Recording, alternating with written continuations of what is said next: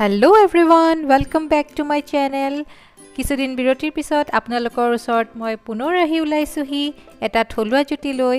আজি মই আপোনালোকৰ বাবে লৈ আহিছোঁ সকলোৰে প্ৰিয় গাহৰি মাংস ঔটেঙা আৰু বাঁহগাজৰ সৈতে। আশা কৰিছোঁ আপোনালোকে ভিডিঅ'টো শেষলৈকে চাব। আহক তেন্তে এই ভিডিঅ'টো আৰম্ভ কৰোঁ। ইয়াৰ বাবে মই লৈছোঁ পাঁচশ গ্ৰাম ফ্ৰেছ গাহৰি মাংস। লগতে মই লৈছোঁ পোন্ধৰৰ পৰা ষোল্ল ফুটামান নহৰু অলপ আদা আৰু কেইটামান কেঁচা জলকীয়া। এইখিনি মই এতিয়া খুন্দনাত লৈ খুন্দি ল'ম। এইখিনি মিক্সিত নামাৰোঁ। মিক্সিত মাৰিলে বেছি পনীয়া হৈ যায়। আমি ৰাফলি ক্ৰাছ কৰিম। সেইকাৰণে মই খুন্দনাতে এইখিনি খুন্দি ল'ম।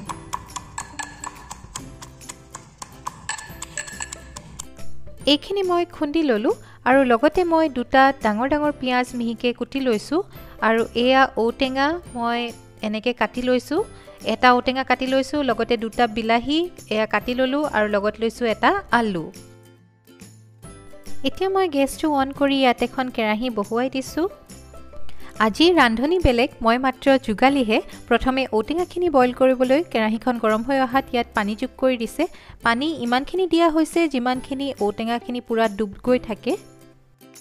লগতে ইয়াত দুচামুচমান নিমখ দি এইখিনি ভালকৈ উতলি আহিবলৈ এখন ঢাকোন লগাই দিছে। অলপ সময়ৰ পিছত ঔটেঙাখিনি ধুনীয়াকৈ সিজি অহাত এইখিনি গেছৰ পৰা নমাই তেনেকেই থৈ দিয়া হৈছে পানীৰ সৈতে। এইবাৰ আকৌ কেৰাহীখনত পানী দিয়া হৈছে মাংসখিনি সিজাই ল'বৰ বাবে। মাংসখিনি ডুব যোৱাকৈ পানী দি ইয়াত অলপ নিমখ দি এইখিনি ভালকৈ সিজাই ল'ব। গাহৰি মাংস সদায় খুব ভালকৈ উতলাই পানীখিনি পেলাইহে খাব লাগে।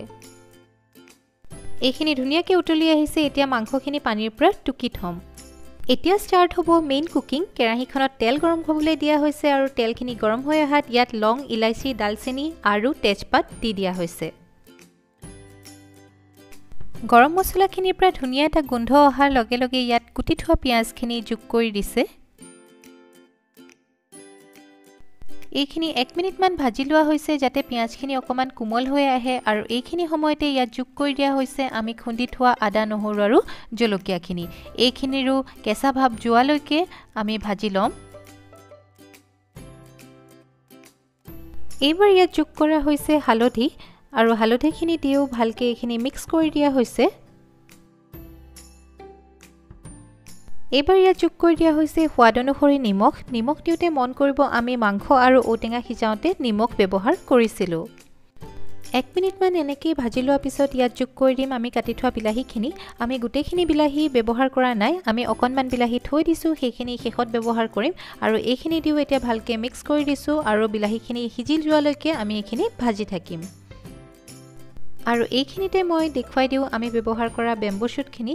আমি ৰেড ট্ৰিপৰ বেম্বো শ্বুট ব্যৱহাৰ কৰিছোঁ। এইটো এটা দুশ গ্ৰামৰ কণ্টেইনাৰত আহে আৰু ইয়াৰ দাম হৈছে এশ টকা।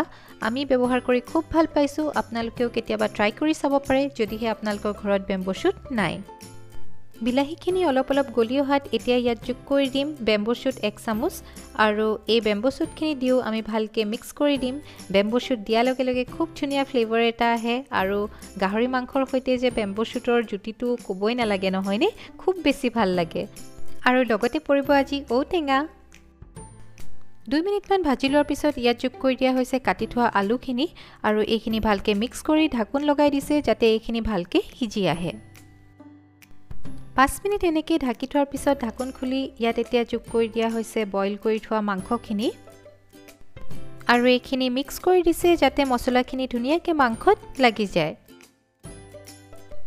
গাহৰি মাংস দেখিলেই খাওঁ খাওঁ লাগে হয়নে? আৰু এইখিনি দেখি বাৰু লোভ লাগিছেনে নাই? কাৰ কাৰ লোভ লাগিছে কমেণ্টত জনাব দেই। তিনি মিনিটমান এনেকেই ভাজি লৈ এইখিনি ঢাকোন লগাই দিয়া হৈছে যাতে ভালকৈ সিজি আহে। এইখিনি পাঁচ মিনিটমান ল' ফ্লেমতে এনেকৈ সিজিবলৈ দিয়া হৈছে। পাঁচ মিনিটৰ পিছত ঢাকোন খুলি ইয়াত এতিয়া যোগ কৰি দিয়া হ'ব। আমি প্ৰথমতেই সিজাই লোৱা ঔটেঙাখিনি। ঔটেঙাখিনি আমি পানীৰ সৈতে থৈ দিছিলোঁ আৰু এতিয়া এইখিনি ভালকৈ উতলিবলৈ দিয়া হৈছে।